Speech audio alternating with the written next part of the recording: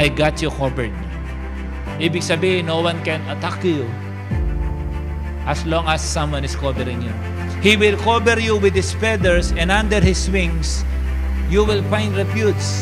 His faithfulness will be your shield and rampart. Pag si Jesus nasa bahay, you are covered.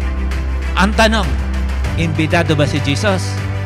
O may selected event lang na imbitado siya? Basta kasama si Lord, hindi mapapaya ang family. If you will only realize when Jesus take over in your life and in your family, anong klaseng himala ang mararanasan? The lackness surrendered to His fullness. And doon yung fullness sa katawan ng ating Panginoon Jesus. Amen. He is the exact representation of God. Pagka ki- kinokompes mo na kung ano nakasulat, tumanda ka na. Because heaven and earth will fade, but His word will still remain. Mangyayari yan pag sinabi ng Diyos.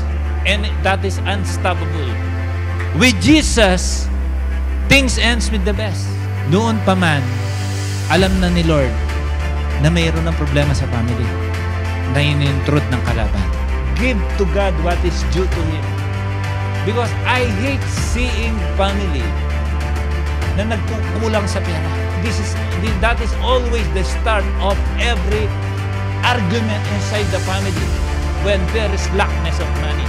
Isang malaking kasinungalingan na sasabihin ng babae, masaya kami kahit wala kaming pera. Hindi totoo yun!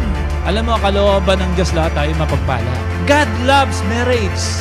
Lahat ng wala nyo pa, nasa program ng Diyos yan. One day, bibigyan niya rin yung kalooban. Basta namamagitan si Jesus sa loob ng tahanan.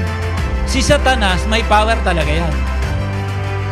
Pero dapat, meron lang siyang power, dapat wala siyang authority.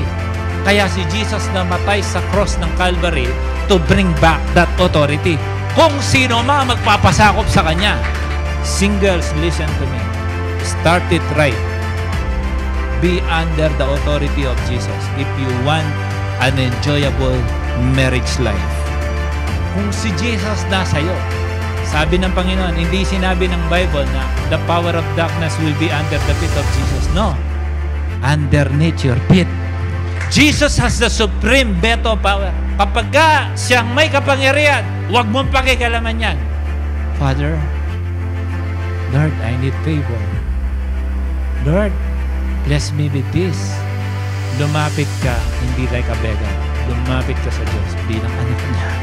Do not forget your benefits on the cross.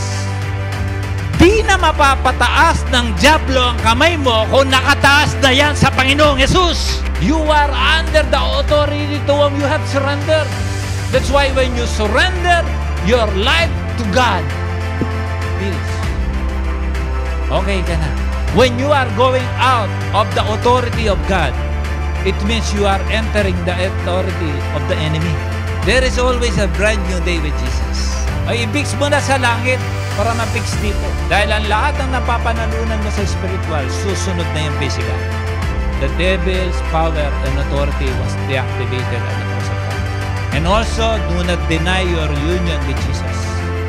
So you will not enter Satan's dominion.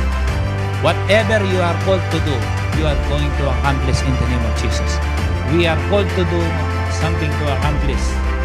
Make sure we know our purpose. The greatest tragedy in life is not to die. It is for a person not to do his God-called purpose.